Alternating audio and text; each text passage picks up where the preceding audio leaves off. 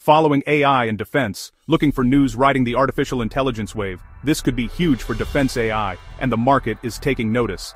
VisionWave Holdings, NASDAQ, VWAV, just announced a strategic collaboration with PVML, a secure data AI innovator out of Tel Aviv.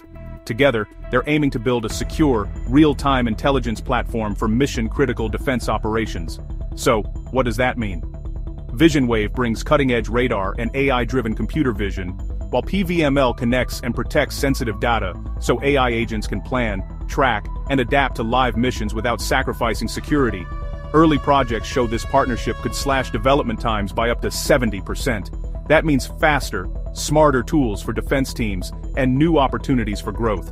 The plan is to roll out a secure intelligence platform starting in 2026, with a focus on live decision intelligence, autonomous agents, and ironclad security by design.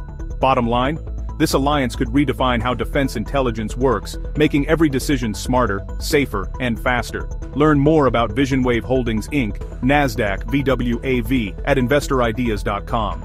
This content is paid content on behalf of VisionWave.